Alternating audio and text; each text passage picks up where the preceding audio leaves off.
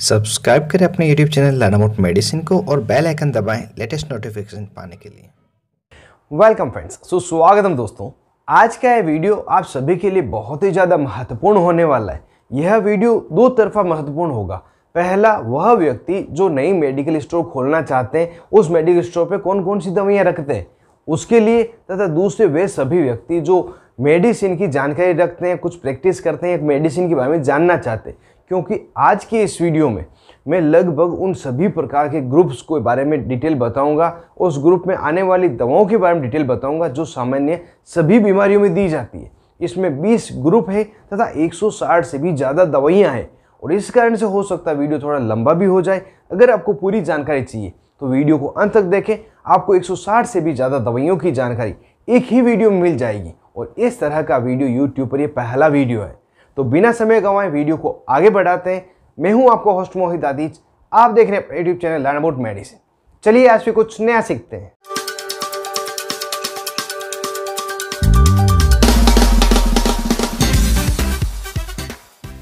Hello friends नमस्ते दोस्तों। इस वीडियो में लगभग 160 से भी ज़्यादा अलग अलग दवाओं के बारे में हम जानेंगे।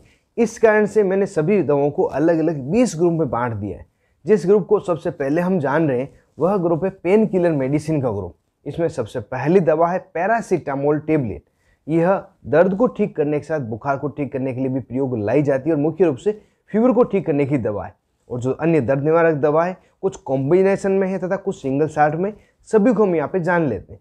कॉम्बिनेशन की जो दवाइयाँ हैं, उसमें आइबुप्रोफेन तथा पैरासीटामोल कॉम्बिनेशन की टेबलेट डाइक्लोफिनेक तथा पैरासीटामोल कॉम्बिनेशन की टेबलेट और एसिक्लोफिनेक तथा पैरासीटामोल कॉम्बिनेशन की टेबलेट यह मुख्य दवाएँ हैं जो सामान्य दर्द को ठीक करने के लिए दी जाती है।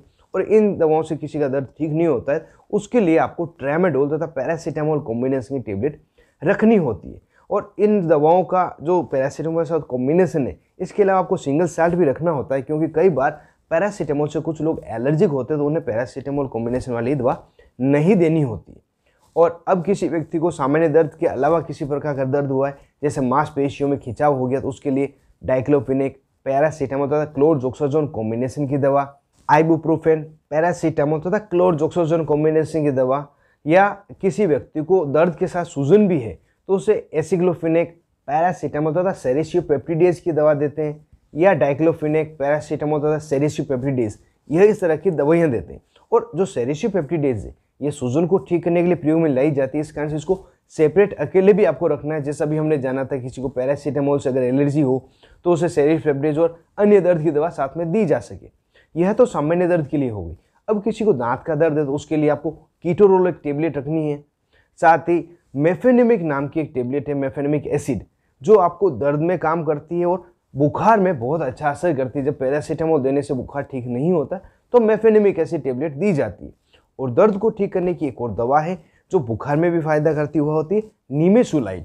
यह कुछ दवाइयाँ हैं जो पेन किलर वह आपको मेडिकल स्टोर पर रखना आवश्यक है। और यह जो मैं दवाइयाँ बता रहा हूँ, यहाँ पे सिर्फ़ जो साल्ट नेम है उसको बता रहा हूँ, क्योंकि मेडिकल स्टोर पे हमें ज़्यादा मुनाफा कमाना होता है, इस कारण से हम टोटल जो ब्रांड नेम है, उनको नहीं रखते। ज़्यादातर जो अपने एरिया में साल्ट नेम से जेनरिक मेडिसिन चल रही है, जो जेनरिक ब्रांडेड मेडिसिन है, उन सबको लेना होता है, जिससे कि प्रॉफिट भी अच्छा और मरीज़ को भी बीमारी जल्दी से ठीक हो जाए।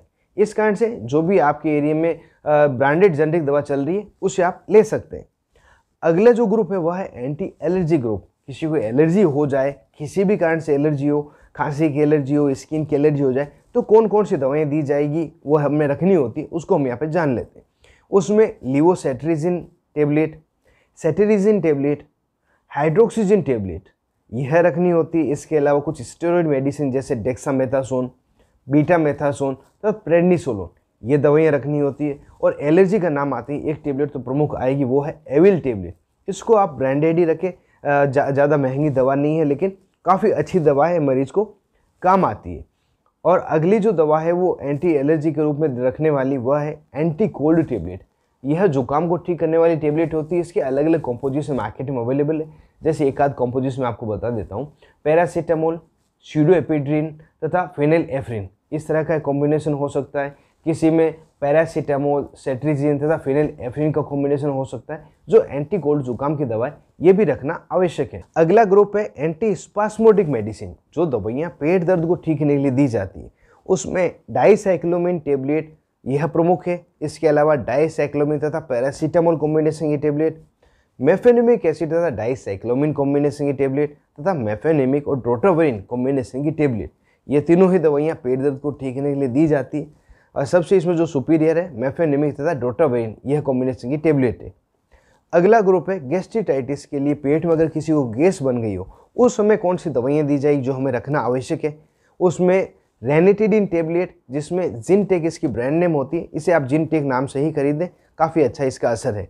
और इसके अलावा जो दूसरी दवाइयाँ हैं, उसमें ओमेप्राजोल पेंटाप्राजोल यह कैप्सूल साथ ही ओमेप्राजोल के साथ डोम्फेडोन कॉम्बिनेशन का कैप्सूल पेंटाप्राजोल के साथ डोम्फेडोन कॉम्बिनेशन का कैप्सूल और रेनिटिडिन के साथ ओंडेंसेटोन की जो टेबलेट है। यह रखनी होती है, इससे पेट की गैस तथा जो उल्टी होती, वह ठीक हो जाती। साथ ही जब पेट में गैस बनती है, उसके साथ में आहर नाल में जलन होने की भी स्थिति होती है। इसलिए कुछ पीने की दवा होती है, जिसको डाइजिन नाम से रख सकते हैं, यह एंटासिड सिरप होती है। और जेनरिक में अवेलेबल हो तो आप जेनरिक में भी रख सकते हैं। इसको पीने से इंस्टेंट ही जो आहर नाल की जलन है, वह ठीक हो जाती है। अगली दवा है एंटी इमेटिक दवाइयाँ, जिसको उल्टी को रोकने के लिए दिया जाता है। जिसमें मेटोक्लोरपोमाइड टेबलेट जिसको आप सभी रेगलान टेबलेट के नाम से जानते हैं, और कुछ दोस्त इसे पेरीनोम टेबलेट के नाम से भी जानते हैं। दूसरी दवा है डोमपेरिडोन टेबलेट तथा लास्ट दवा है ऑनलाइन सेट्रोन टेबलेट यह तीनों ही दवाइयाँ उल्टी को रोकने के लिए दी जाती हैं। तो इन्हें उल्टी को रोकने के लिए रखा जाता है। अगला ग्रुप है एंटीवर्टाइगो चक्कर को रोकने के लिए जो दवाइयाँ हैं, उसको भी रखना आवश्यक है, जिसमें स्टेमेटिल एमडी प्रमुख दवा है और इसको इसी नाम से आप लेके आए क्योंकि मरीज़ अगर आता है, उसकी तकलीफ़ हाथों हाथ दूर हो जाती है, अगली बार आपके मेडिकल स्टोर पे ज़रूर से आएगा, आपके क्लिनिक पे ज़रूर से आएगा।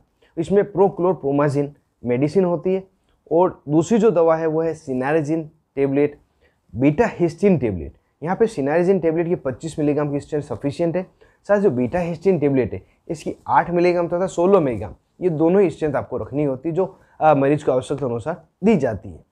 अगला ग्रुप है डायरिया दस्त को रोकने का। इसमें सबसे प्रमुख दवा होती है लोपेरामाइड टेबलेट जो इंस्टेंट दस्त को रोक देती है।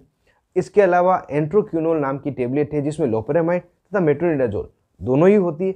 साथ ही तीसरी टेबलेट है स्पोरलेक टेबलेट जिसमें लैक्टिक एसिड बेसिलस होता है। यह दवाइयाँ दस्त को रोकने के लिए दी जाती है। अगला ग्रुप है कॉन्स्टिपेशन के लिए। यदि किसी व्यक्ति को कब्ज हो गई तो उन्हें क्या दिया जाएगा? वह भी दवा होना ज़रूरी है। उसमें टेबलेट तथा सस्पेंशन सभी हमें रखना होता है। पहले टेबलेट को जान लेते हैं। टेबलेट होती है बेसाकोडिल टेबलेट जो डल्कोफ्लेक्स नाम से बहुत ही ज़्यादा फ़ेमस है।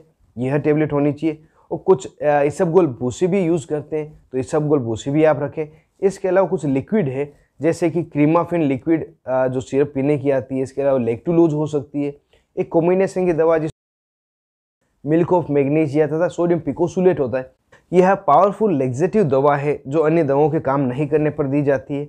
और किसी को इंस्टेंट रिलीफ देना हो तो बच्चों के लिए ग्लिसरीन सपोजिटरीज रखनी होती और बड़ों के लिए एनिमा रखना होता कोई भी एनिमा आप रख सकते हैं। अगले ग्रुप में मैंने एक ही टेबलेट रखी है, क्योंकि यह सडेटिव ग्रुप है। इस ग्रुप की जो दवाइयाँ हैं, उसका प्रयोग नींद के लिए लिया जाता है।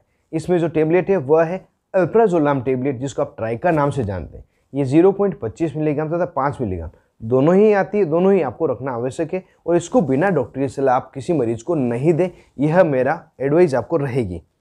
अगला ग्रुप है विटामिन तथा मिनरल्स में कौन कौन सी टेबलेट आपको रखनी होती है। साथ ही जो अदर मेडिसिन इसमें साथ में कवर कर लेता हूँ मैं। इसमें जो विटामिन, मिनरल की टेबलेट है, उसमें सबसे पहली टेबलेट है बिकासुल टेबलेट या बिकासुल कैप्सूल, जो विटामिन का कैप्सूल आता है, मल्टीविटामिन इसमें होते हैं। इसके अलावा Neurobion four tablet, folic acid की टेबलेट, फेरस सल्फेट तथा फोलिक एसिड कॉम्बिनेशन की टेबलेट, कैल्शियम की टेबलेट जो 500 मिलीग्राम की होती है। इसके अलावा विटामिन ई की टेबलेट, इसमें ईवियन सबसे फ़ेमस है। विटामिन सी की टेबलेट जो लिमसी है कैल्शियम की सिरप डाइजेस्टिव एंजाइम सिरप जो खाना नहीं पचने पर, भूख नहीं लगने पर दी जाती है, या एरिस्टोजाइम हो सकती है, यूनी एंजाइम हो सकती है, जो भी जेनरिक अवेलेबल आपके पास है, वह हो सकती है। साइप्रोहेप्टिडिन सिरप जिसे भूख लगने के लिए दिया जाता है, ये टेबलेट सिर्फ़ दोनों में अवेलेबल है। और एक टेबलेट है, जो एल्बेंडाजोल टेबलेट है, यह पेट के कीड़ों को मारने के लिए दी जाती है इसको भी रखना आवश्यक है। अब आगे का जो ग्रुप है, वह है टॉपिकल प्रिपरेशन के लिए, जिसमें क्रीम तथा ऑइंटमेंट्स है। इसमें सबसे पहला ऑइंटमेंट होगा पोविडिन आयोडीन ऑइंटमेंट जिसको आप बिटाडिन के नाम से जानते हो। चोट लगने पर फ्रेश चोट पे इसको लगाया जाता है, कहीं गाँव हो जाए तो इसे लगाया जाता है।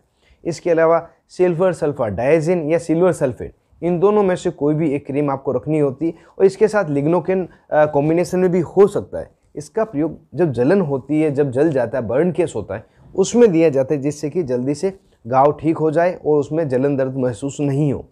अगली क्रीम है सोफ्रामाइसिन क्रीम, जिसमें फ्रामाइसिटिन कंटेंट होता है। डाइक्लोफिनेक जेल, जिसको दर्द के लिए दिया जाता है। डाइक्लोफिनेक स्प्रे भी आपको रखना ज़रूरी है। फंगल इन्फेक्शन किसी को दाद हो गया तो उसके लिए कुछ क्रीम्स है, जैसे कि क्लोट्रीमाजोल क्रीम, क्लोट्रीमाजोल बेक्लोमेथासोन तथा नियोमाइसिन की क्रीम, इनसे फ़ायदा नहीं हो तो कीटाकोनाजोल क्रीम ललीकोनाजोल क्रीम, ये हालाँकि महँगी है, एक दो पीस आपको रखना ज़रूरी है। कुछ स्टेरॉइड में क्लोबेटासोल क्रीम स्टेरॉइड के साथ एंटीबायोटिक क्लोबेटासोल तथा जेंटामाइसिन। यह कुछ क्रीम है जो फंगल इन्फेक्शन को ठीक करने के लिए दी जाती है। अब कुछ शैम्पू तथा सोप भी है। किसी को अगर सिर में बहुत ज़्यादा डेंड्रफ हो गया तो उसे कीटोकोनाजोल शैम्पू दिया जाता है। इसकी एक दो पीस ज़रूर से रखें। किसी महिला को या बच्चे को सिर में जुएँ हो गई हो तो उसके लिए परमेथ्रिन सोप या लोशन आपको रखना ज़रूरी है। और एंटीसेप्टिक लोशन के रूप में या एंटीसेप्टिक सॉल्यूशन में आपको डेटोल या सेवलोन रखना आवश्यक है। और एक क्रीम है जिसका टॉपिकल प्रिपरेशन प्रयोग लिया जाता है। किसी को इंजेक्शन लगा दे, वहाँ पे सूजन या गांठ हो जाए तो वह क्रीम, वह ऑइंटमेंट है थ्रोम्बोफोब ऑइंटमेंट और इसका आप जेनरिक यूज़ नहीं करें थ्रोम्बोफोब ही लें, इसका बहुत ही अच्छा रिज़ल्ट मिलता है। ये थ्रोम्बोफोब दिया जाता है, जब किसी को इंजेक्शन लगाने के बाद वहाँ पे गांठ हो जाती है। अगला ग्रुप है जिसमें हम आई ड्रॉप्स के बारे में जानेंगे। आँखों से रिलेटेड अगर समस्या होती तो उसमें दवाइयाँ कौन कौन सी दी जाती जो हमें रखनी होती अगर जनरल सी आई फ्लू जैसा हो गया, आँखों में बैक्टीरियल इन्फेक्शन हो गया है तो उसके लिए हमें सिप्रोफ्लोक्सोसिन आई रखना ज़रूरी है। साथ ही आई ऑइंटमेंट भी रखना चाहिए। और आँखों का एक कैप्सूल आता है, जिसको आपने देखा होगा रेड कलर येलो कलर दोनों हो सकते हैं। वो होते हैं क्लोरम फेनिकोल के कैप्सूल उसको तोड़कर आँखों में डाला जाता है। वह भी रखना है।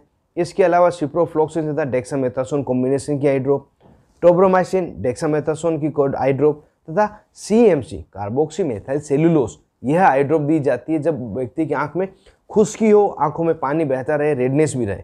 और किसी को आँखों में चोट लगी हो, एक बार आपके पास आया है तो उसे फ्लर्बी प्रोफेन आई ड्रॉप दी जाती है, जिससे कि एक बार दर्द ठीक हो जाए, फिर ऑप्थोमिक डॉक्टर को बता दे। तो फ्लर्बी प्रोफेन आई ड्रॉप भी आपको रखनी है। ईयर ड्रॉप्स के बारे में जाने तो अगर किसी को कान में पानी चला गया या किसी कान से फंगल इन्फेक्शन हो गया है तो उसे क्लोट्रीमाजोल तथा बेक्लोमेथासोल इस कॉम्बिनेशन की ड्रॉप प्रयोग में दी जाती है। तो इस कारण से इसे रखना होता है। किसी को कान में वैक्स जम गया हो तो एंटी वैक्स नाम की ड्रॉप आती है, जिसे सेरोमिनोलाइटिक ड्रॉप भी कहते हैं तो इस नाम की ड्रॉप को रखना है।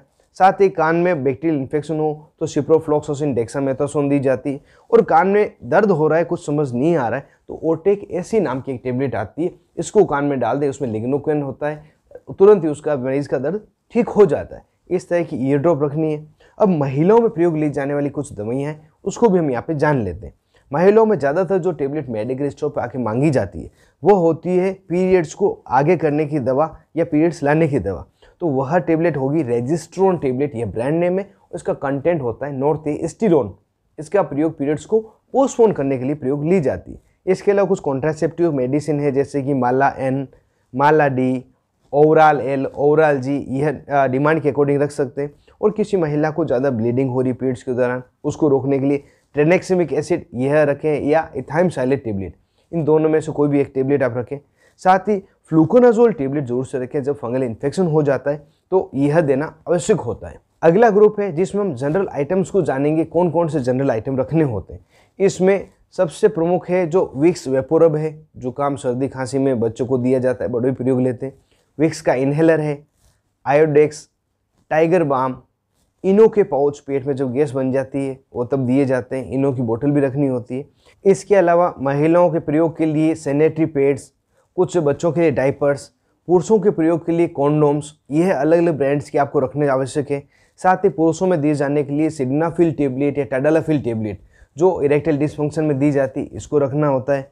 मिल्क बोतल आप रखें ग्रेप वाटर बच्चों में देने के लिए, डाबर जन्म गुट्टी सेरलेक प्रोटीन का पाउडर यह सभी रखने होते हैं। और इसके अलावा फ़र्स्ट एड में प्रयोग ली जाने वाली बैंडेज तथा बैंडेड पट्टी भी आपको रखनी होती है वाटर प्रूफ और जनरल पट्टी दोनों रखें। कॉटन रखना होता है क्रेप बैंडेज जो पाँव में मरोड़ आने पर या हाथ पाँव में कहीं मांस मांस फट जाने पर दी जाती है, वह क्रेप बैंडेज गर्म पट्टी भी रखनी होती है। कॉर्न प्लास बैंडेज तथा ओआरएस पाउडर, यह सभी जनरल आइटम आपको रखने होते हैं और ये general item area to area अलग हो सकते हैं। अगला जो ग्रुप है वह है पीडियाट्रिक मेडिसिन बच्चों में कौन कौन सी दवाइयाँ रखी जाती है? आ, उसमें भी आ, सभी ग्रुप को मैंने एक साथ ही ले लिया है। सभी सिरप फॉर्म तथा ड्रॉप फॉर्म में अवेलेबल है। जिसमें पैरासीटामोल सिरप तथा ड्रॉप ये कंपलसरी है। साथ ही पैरासीटामोल के साथ मेफेनेमिक एसिड कॉम्बिनेशन की ड्रॉप तथा सिरप ये दोनों बहुत ज़्यादा ज़रूरी है बच्चों में बुखार के लिए दिए जाता है। इसके अलावा नियोपेप्टिन सिरप तथा ड्रॉप पेट संबंधी जो समस्याएँ कोलिकेट ड्रॉप जो पेट में दर्द होने पर बच्चों को दी जाती है। फिगोलेक्स ड्रॉप ये बच्चों में जो कॉन्स्टिपेशन है, उसको ठीक करने के लिए दी जाती है।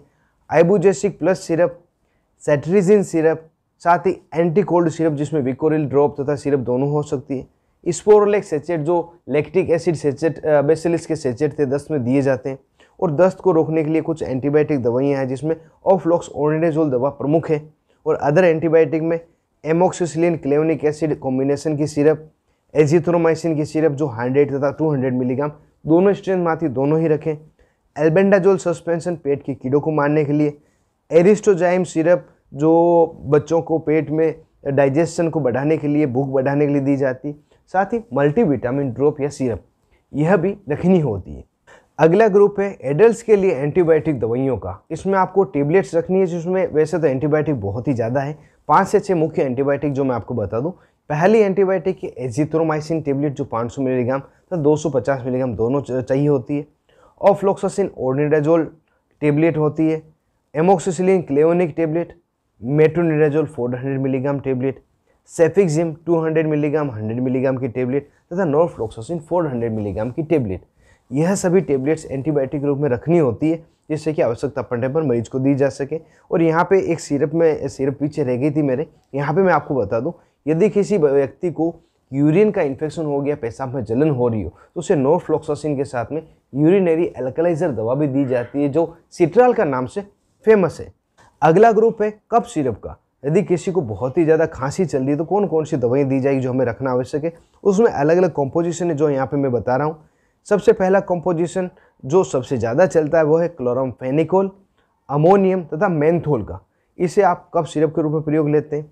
डेक्स्ट्रोमेथरफेन तथा क्लोरोफेनिकोल यह दूसरा कॉम्बिनेशन जिसको ड्राई कफ में प्रयोग लेना होता है।